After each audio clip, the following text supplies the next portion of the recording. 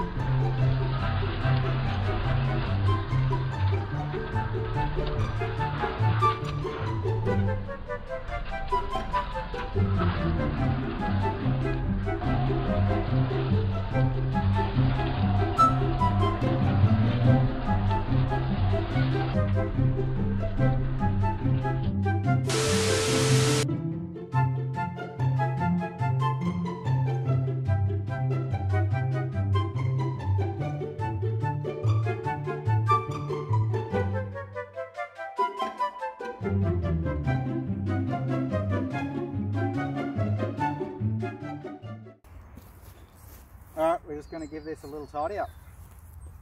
Not too long, shouldn't be too hard, a bit bumpy, but we'll be able to ride it out.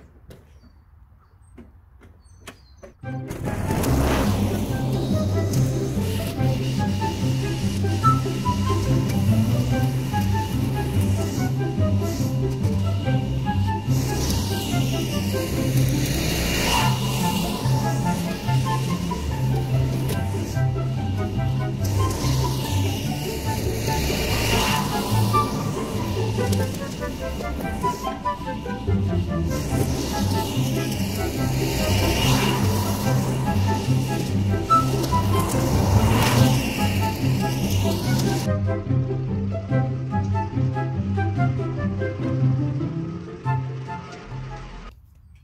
was pretty tough on the back, I've got to say. We um, definitely need to smooth out that ground there. It doesn't look too bad from here. I'll take you over and have a look, just so you guys can see what I'm talking about. But when we originally moved in, we had terrible issue with bamboo. Just here where all these trees are that have been cut down. So we had the tractor in here, um, and you can just see it doesn't doesn't really show up in the video driving over these with no suspension is pretty tough. Uh, all these divots here. So we use that mound over there and I think we'll um, we'll get around to cleaning it all up. I think that's probably come up pretty good. Uh, little by little we'll tackle it. That's all I've got for you guys today. Have a great day.